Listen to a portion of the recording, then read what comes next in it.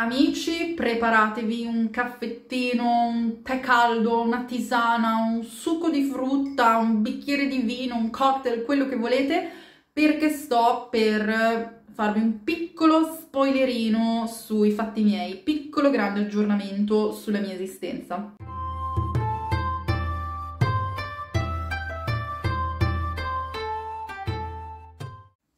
Cherries, benvenuti e bentornati sul mio canale, io sono Sakuri, la vostra guida spirituale per tutto ciò che riguarda la Norvegia, la vita qui, come trovare lavoro, la burocrazia, piccole lezioni di lingua norvegese, qualcosina sulla cultura, sulla geografia, sul turismo, tutto quello che volete.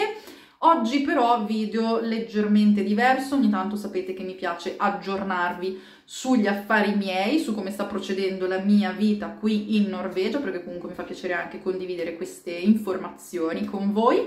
E quindi come avete letto dal titolo um, mi trasferisco di nuovo, veramente, giuro, non sto scherzando. È il sesto trasferimento da che sono arrivata in Norvegia nel 2016 sesto in totale contando anche il fatto che siamo arrivati in Norvegia. Facciamo un recappino. Allora, nel 2016, um, aprile, sono arrivata in Norvegia con all'epoca uh, mio mm, ragazzo, che adesso è mio marito, e, um, e niente, quindi questo diciamo primo grande trasloco dall'Italia alla Norvegia. Contiamo anche questo. Siamo stati due settimane in un Airbnb perché non avevamo trovato una casa, un affitto a lungo termine, ehm, venendo da, dall'Italia, diciamo cercandola dall'Italia, quindi abbiamo, fatto, abbiamo optato per questa soluzione. Quindi secondo mini trasferimento, sempre da, da, questo Airbnb a Trondheim, in un'altra casa a Trondheim, eh, in cui siamo rimasti per tre mesi. Verso agosto ci siamo trasferiti eh, sempre nella regione di Trondheim, quindi nel Trøndelag, però lontani dalla, dalla, città, circa due ore e mezzo, tre ore di, di auto. Eh, quindi quello lì è stato il nostro primo grande trasloco da Norvegia a Norvegia, diciamo il terzo di questo processo di vita in Norvegia. Quindi il terzo, lì siamo stati in una casa in affitto per un annetto e mezzo, mi sembra. Poi abbiamo comprato casa sempre lì nella zona, quindi ci siamo trasferiti a pochi chilometri di distanza, 10-15 forse, quindi quarto trasloco, ovviamente sempre portandoci dietro tutti i nostri scatoloni, mobili che nel frattempo avevamo comprato, quindi quarto. A un certo punto, poi dopo tre anni, siamo venuti via da lì e abbiamo fatto il big trasloco in Norvegia, cambiando completamente zona, quindi siamo arrivati al quinto e, e questo qui è il sesto. Io giuro, giuro, sono in imbarazzo per me. Um, cioè non riesco a stare ferma, non riesco a stare ferma quando io, ogni volta che io annuncio un nuovo trasferimento alla mia famiglia ai miei amici, mi dicono scusa ma, cioè tipo non ti eri appena trasferita, non eri appena traslocato? Io, sì, quindi... Io però purtroppo ho veramente questa difficoltà a rimanere nello stesso posto per più di sei mesi. Quando lo dico la gente non mi crede più veramente, dopo pochi mesi che vivo nello stesso posto, nella stessa casa, io mi stufo, mi stufo, non riesco, cioè io non riesco proprio a, a tollerare la routine. Cioè, non lo so, è che, boh, forse sono un po' una maniaca dell'organizzazione, mi piace programmare cose, però eventi grossi, cioè non, non mi accontento di programmare una gita mm, fuori porta in giornata, io devo mm, avere proprio quel processo di organizzazione. Ma sta svenendo il mio cellulare? Sì, stava andando sempre più giù, scusate, che vi sto registrando questo video seduta nella mia prigione eh, seduta sul pavimento del mio ufficetto, siete appoggiati su una sedia, sulla ring light che non lo so, sta probabilmente tirando gli ultimi, non, boh, non, non riesce a... il supporto è un po' così. E quindi ho visto a un certo punto che il cellulare stava facendo così. Vabbè, ehm, stavo dicendo? Niente, dicevo, io ho sempre bisogno di spostarmi, eh, ho sempre bisogno di novità nella mia vita, altrimenti mi stufo, altrimenti vado in ansia Um, ho sempre bisogno di avere qualcosa di giga enorme da, da organizzare e, e, da pianificare. E, cosa, la, l'unica cosa che mi viene in mente di fare è quella di continuare a traslocare. Tra l'altro, opinione impopolare, mm, io so che alla gente non piace trasferirsi perché insomma a livello organizzativo eh, occupa tempo, energie, bisogna impacchettare tutto, pulire, si ha, sempre un sacco di roba in più in casa che non serve, quindi impacchetta anche robe che sai che sono inutili, però non le vuoi buttare via, allora portiamocele dietro, allora impacchetta, spacchetta, pulisci di qui, pulisci di là, cerca un nuovo appartamento. Un disastro, un casino, però me piace.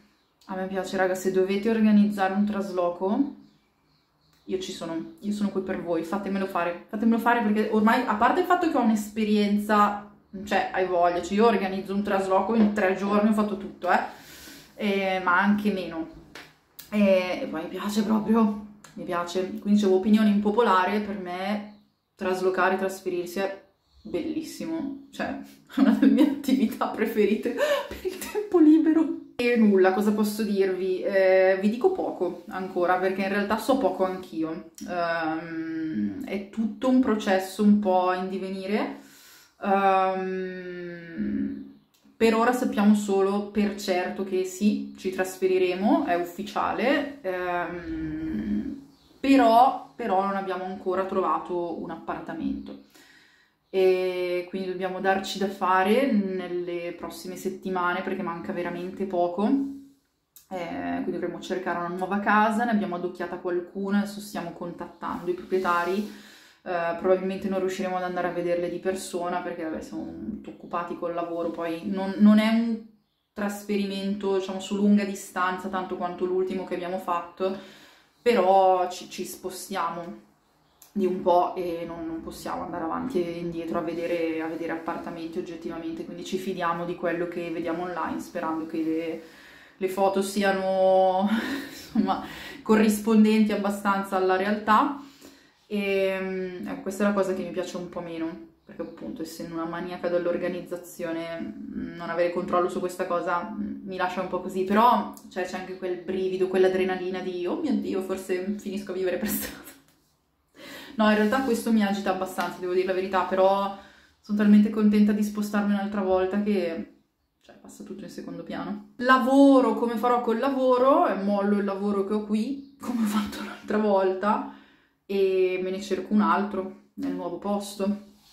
Eh, quello non mi preoccupa più di tanto in realtà perché comunque continuerò con eh, la mia scuola online, quindi continuo a lavorare sui miei corsi interattivi online di norvegese per italiani, continuerò a fare lezioni online su, su Teams, diciamo faccia a faccia, ma online appunto con me, eh, di, di, norvegese o le altre lingue che, che insegno. Dico norvegese perché prevalentemente faccio lezioni di norvegese.